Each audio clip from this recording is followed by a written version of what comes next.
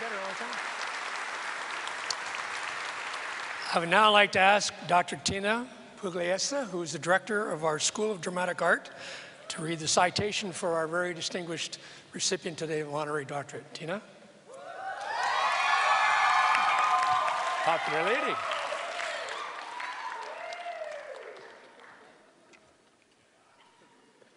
Amanda Tapping. Amanda Tapping is a celebrated and gifted television and film artist. She is recognized by her loyal fans as the Grand Empress of sci-fi. She has captured our imaginations through her many varied characters and is best known for her role as Air Force Captain Major Samantha Carter for 12 seasons on the MGM television series Stargate One. As well, yes. as well as its spin-offs, Stargate Atlantis and Stargate Universe. From there, Amanda went on to play the lead role as Dr. Helen Magnus on the television series Sanctuary. From, from Sanctuary and Naomi in Supernatural. Other appearances on popular TV series include Due South, The Newsroom, The X-Files, and Motive. She is a recurring character on the City TV comedy sitcom Package Deal. She recently completed work on five films, Space Milkshake, Random Acts of Romance, Taken Back, Hell in a Handbag, and Kid Cannabis. Amanda's achievements as a performing artist include projects from behind the camera. She served as executive producer and director for several episodes of the series Sanctuary. She directed Stargate SG-1's Resurrection and garnered a Leo Award nomination for Best Director. She directed three episodes each of Primeval New World, Arctic Air, and Continuum. She will be directing two new series this summer, Strange Empire and the mythological drama Olympus, a Canadian-British co-production to premiere in 2015. Throughout her career, Amanda's stellar work has earned much recognition. Four Leo Awards for Best Actress, nominations for two Gemini Awards, four Saturn Awards, and won the 2005 Saturn Award for Best Supporting Actress. Her work in the short film Breakdown earned her a Canadian Comedy Award. She was honored with the Women in Films Woman of Vision Award, the YMCA Woman of Distinction Connecting the Community Award, and recently the Jules Verne Award for her humanitarian work. Having achieved exceptional success in her career, Amanda is making significant contributions supporting various charities and organizations, such as the Coast Foundation, a support agency for people with mental disabilities, the Canadian Cancer Society, UNICEF, and V-Day to help end violence against women and girls worldwide. She also sits on the Leadership Council for Waterkeeper Alliance. But most dear to Amanda is the charitable foundation Sanctuary for Kids, which she launched and co-founded in 2009. Sanctuary for Kids supports both local and global children's charities, helping children around the world who need protection and are in crisis. In closing, we are very proud today to note that Amanda Tapping's rich and varied career took root here on our very own campus, in the modest rooms of the old School of Dramatic Art building and on the University Players stage. In 19, yes, wow. In 1987, Amanda played Sarah in the play Children of a Lesser God. Her work was critically acclaimed in reviews on both sides of the border. Diana Mady Kelly, the show's director, recalls one Detroit critic who wrote that if any readers wanted a lesson on acting, they should go to the University of Windsor to see Amanda Tapping in Children of a Lesser God. He observed that Amanda's performance towered over the one he had seen in the popular movie that won the actress the Oscar. The School of Dramatic Art and the University of Windsor recognize Amanda Tapping as one of its most distinguished alumni. She is an inspiring role model for our new graduates. Mr. Chancellor, It is for these reasons that I present to you Amanda Tapping for the degree of Doctor of Laws honoris causa.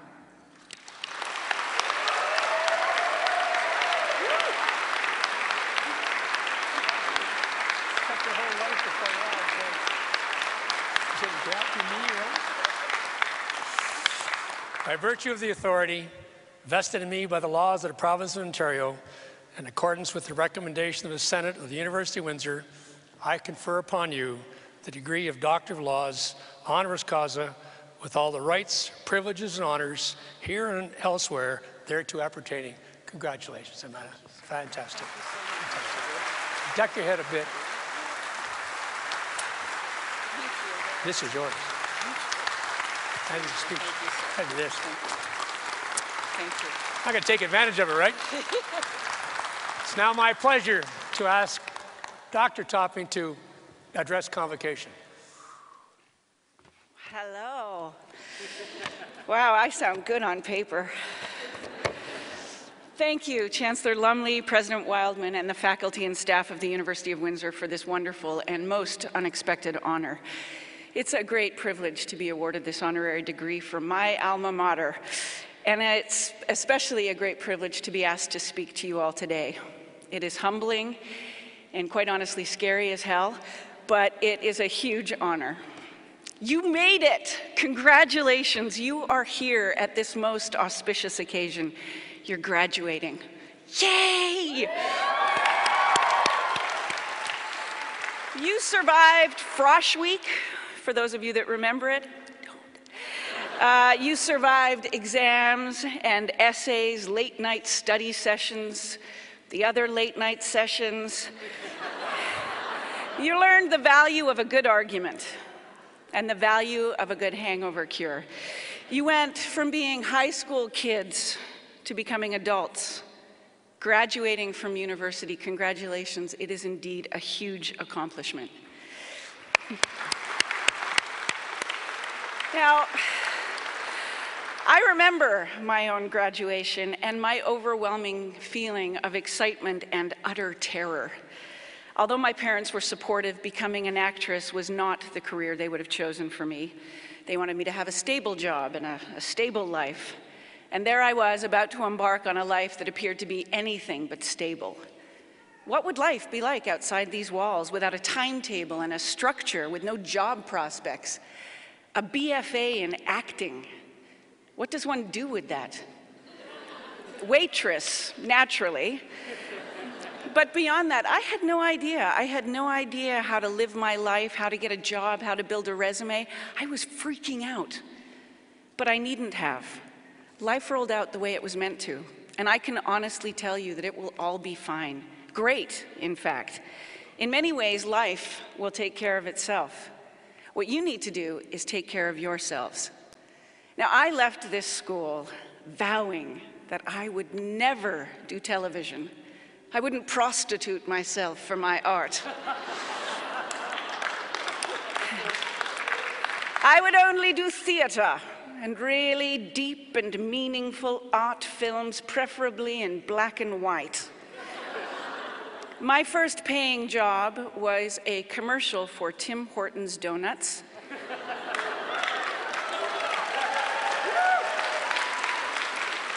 it was in color, and it was for oat bran muffins. Yeah, it was not the auspicious start to my career that I was hoping for, but besides paying my rent, it taught me something valuable. I may not have been in the place that I thought that I should be in, but I had fun.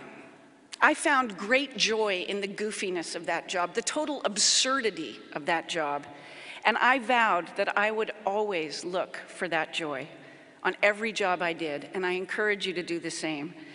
Find the absurdity, it won't be hard, there's a lot of it, and find the joy. Now, my career has had me running around in the woods in army boots chasing after pretend aliens. I then ran around in stilettos chasing after pretend monsters, and I have to say, with all honesty, I learned to do that here at the University of Windsor. I learned how to be in the moment and to embrace it while I was here. I had a lot of help from Dr. Diana Mady Kelly. She taught me how to be strong and to stand up for myself and also to savor the moment. And this has been invaluable in my career and most importantly in my life. I had the goal of becoming an actress. Have I done what I envisioned doing? No, not even close.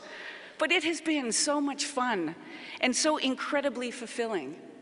I couldn't have planned this, I just pursued it.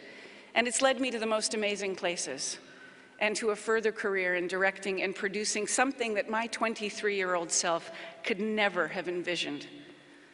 So I say this to you by following your heart and your passion and your gut, and by doing it with the unassailable integrity of which we are all capable, you will become what you are meant to be. We spend so much time worrying about what's coming down the road at us instead of just living in the moment. Don't be afraid of what's coming down the road. Unless it's a big 18 wheeler, and then you should probably be afraid and jump out of the way, I'm just saying. But don't follow someone else's idea of what your life should be, be it your parents or your friends, or perhaps most pervasively, the media. No one can tell you or teach you what your life should be. You learn it simply by living. And we're all told about this great ideal of success. Success. It's ridiculous and elusive. Success is not a bank account or a job title. Success is waking up in the morning and looking forward to that day. Success is putting your head on your pillow at night and being proud of how you lived that day. Success is choosing a path or a partner or a job or a hobby that makes you smile and that makes you laugh. Success is living a life with compassion and joy and genuine wonder and giving that compassion, joy, and wonder back to others. Always, always give back. Believe me when I say it is the most satisfying and meaningful thing that you will ever do. I leave you with this. I heard a saying way, way back when I was here at the University of Windsor, a saying that shaped me in the most unexpected way. From the hallowed halls of academia, I give you this. I wish I were a glowworm. A glowworm's never glum, for how can you be grumpy when the sun shines out your bum?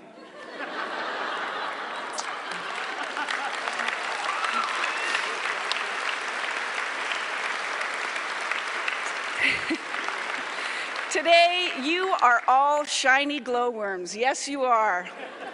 Never lose that. The future is bright because you will be contributing to it. And you are the generation to do it. Truly, you are. I mean, let's be honest, we've mucked things up a bit. You inherit our mistakes in spite of our optimism. You inherit our finances in spite of our ego. You inherit our environment in spite of our concern. So it's down to you and your youthful exuberance and your intelligence and your spirit and your compassion and your joy and your wonder. So, you know, no pressure. Just shine on. Congratulations. I wish you much joy. Thank you.